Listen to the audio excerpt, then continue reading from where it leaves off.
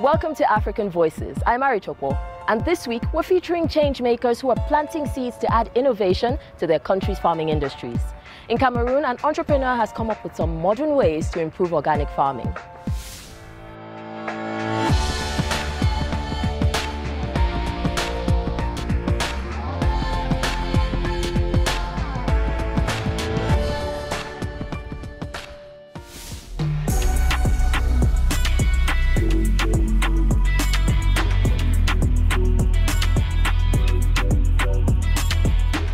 Cameroon is a country that's blessed with so many things.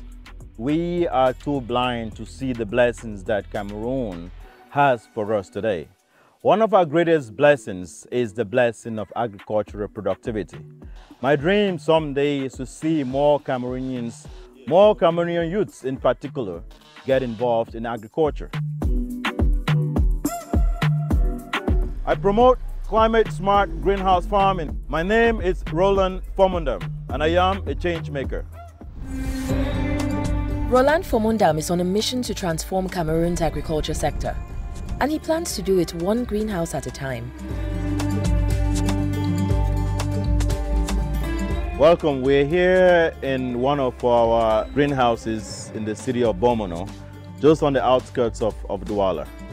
His company Greenhouse Ventures builds low-cost greenhouse structures throughout Cameroon to help increase the quality and quantity of fruit and vegetable production.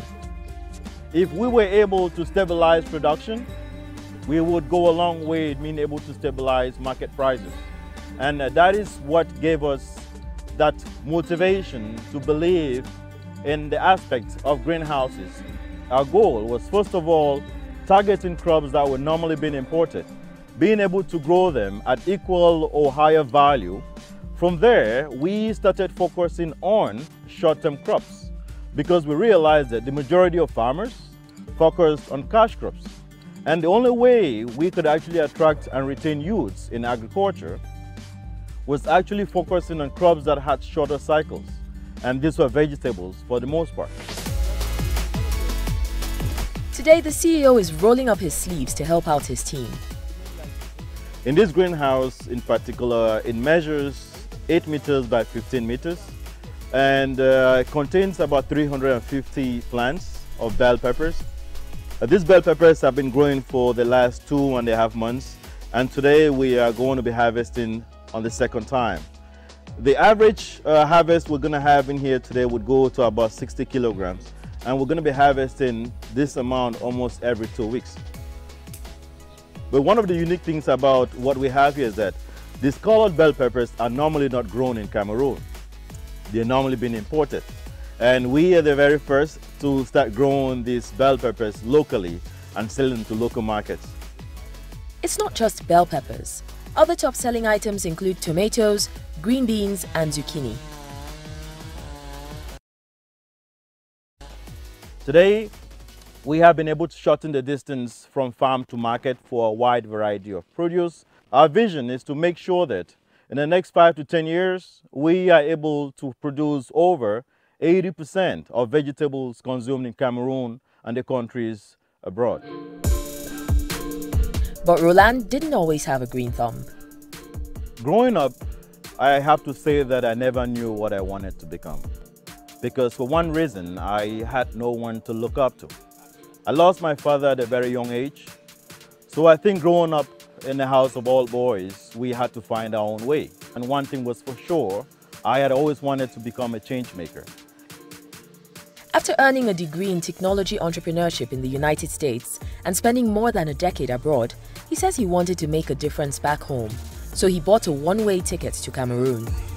After years of living in the United States, I decided to move back home to promote sustainable technology development. But at a certain point, realized that those beneficiaries couldn't afford our technologies, which is why we came up with the idea of being able to introduce a technology that could actually improve the economic lives of farmers. In our early days, many casted doubts to a point where I could have given up, but the passion, the drive, the commitment, and the courage is what has kept me going. To expand their reach across Cameroon, He says each greenhouse is uniquely designed to fit the country's diverse climate and vegetation. We are proud to say that we are able to customize and adapt the greenhouse technology in every eco ecological zone in the country. Today, we have farms that belong solely to Greenhouse Ventures, and we have other farms that belong to our partners, as well as we came up with a franchise model to make sure that we can increase the propagation of greenhouses all over Cameroon.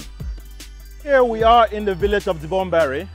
It's a village on the outskirts of Douala, where we have one of the largest uh, farms we are looking to set up here in Douala. Here we are looking to set up over 30 greenhouse farms. But not only that, we are also doing outdoor uh, cropping, where we're going to be complementing that with the greenhouses that we're building on site. While Roland has planted the seeds for success, he says he's missing a key piece of the puzzle, the youth. You realize that there is no youth today that is proudly involved in agriculture the way we here at Greenhouse Ventures are. And uh, we had to find many ways that we could get involved in agriculture, not only ourselves, but how we could also attract other youths and retain them. Because we believe that agricultural development in Cameroon goes a long way to improve development of the country as a whole. Coming up, see how Roland is inspiring the next generation of agriculturists.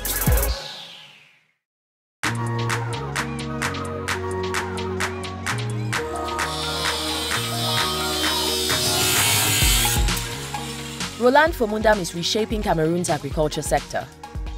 The key thing here is very, very specific. Understanding the agricultural opportunities that we have in Cameroon and how do we take advantage of those opportunities He's been building greenhouses in Cameroon since 2014. His company, Greenhouse Ventures, builds these structures complete with low cost, climate smart technology. Today, he's showing us how they're made. We're here at our main engineering site where all greenhouses are being manufactured. Normally, on a day to day basis, we have two teams that work here day and night. Normally, it takes us about two days to manufacture one full greenhouse, and once on site, it takes another two days to set it up. So in a matter of about a week, we can set up about five greenhouses in whatever site we are working on.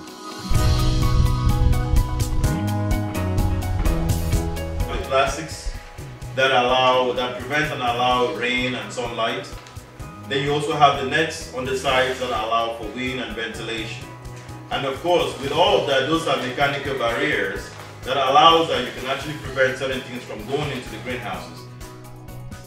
Roland and his team know what it takes to produce a bountiful yield.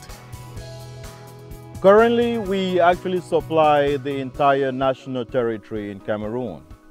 We have different market segments from supermarkets to hotels to restaurants and also home deliveries. To keep the momentum going, he's relying on the younger generation to take part. Many people see agriculture as a means to an end many people don't see the value of agriculture as a whole. How do we attract and retain youths in second generation agriculture? Roland launched the Greenhouse Academy to encourage others to join him and pass on the lessons he's learned. We had to find many ways to transfer the knowledge that we have acquired over the years, which is why the Greenhouse Academy was born. It is not only about having production, but also changing the way the market system really works. We give our learners a wider experience and a wider understanding as to why greenhouse farming makes much sense. And of course, being able to understand the intricate challenges that could be faced on the field, sometimes it takes us to the classroom. And then we have another section where we take practicals in a real greenhouse. That's where students learn the tricks of the trade firsthand from experts across the continent. Having a greenhouse is one thing, but having the technical know-how is another thing. You can have the greenhouse, but if you don't know how to manage that greenhouse, then uh, you will definitely fail. Before I came to Cameroon, I was in Nigeria, uh, working and uh, a farm there doing also greenhouse farming. Uh, I worked there for about two years. Then I met Mr. Roland. I saw what he's, he's trying to do in Cameroon and what he has already done, then that drove me to come and join him and be part of this great team. We could also be able to share videos and have testimonials from individuals from other countries who share with us their own experiences so that we are able to adapt those challenges to our own current situations and create solutions for them. That way, we here in Cameroon become more a bedrock of solutions in greenhouse farming. Roland is confident this new crop of agriculturists will take the industry to the next level. So for us, it's creating that blend that makes agriculture a very enjoyable sector to be in and something that people should aspire to get into. I want to be able to see a Cameroon where the youths are the dominant population in agriculture and agricultural investment. As he believes the future of agriculture in Cameroon is ripe for success. We have a lot of untapped potentials that if tapped, I think it goes a long way to increase our level of development and level of growth as a country in general. We believe that Cameroon can become a major, major producer of a wide variety of crops, fruits and vegetables using these greenhouses. But above all, we look forward to a Cameroon where agriculture takes the front seat. And in so doing, Cameroon would become a rich, prosperous and very sustainable country.